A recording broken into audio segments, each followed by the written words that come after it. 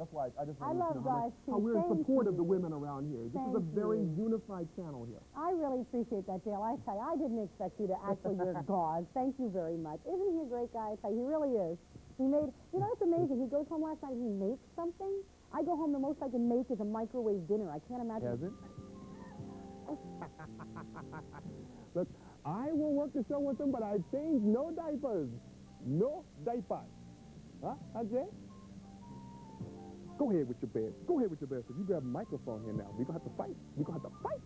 You grab my microphone. We're going to have to fight. That's right. Denim? Whoop. We all fight. Did Daddy cut your fingernail? Did Daddy cut your fingernail today? Because you clawing my eyes out. I hope his insurance covers contact lenses, because if you pop my contact lenses out, you're going to have to do the remainder myself. This is... what is so fascinating back there? This is done with a combination of stripes in your denim and a stonewash denim look, too. You see that? Huh? Got that? You got that? Got that? Huh? Got that? Huh? Huh? Mr. No Cheese. Mr. One Two.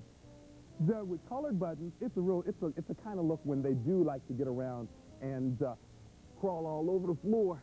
You know, you can feel comfortable with them in it because you got the reinforced area of the patchwork on the knees and, uh, and it's the short sleeve styling. The look of the elastic across the, the bottom of the pants will actually help uh, keep his legs from being caught in everything else because you know his hands are going to get into everything.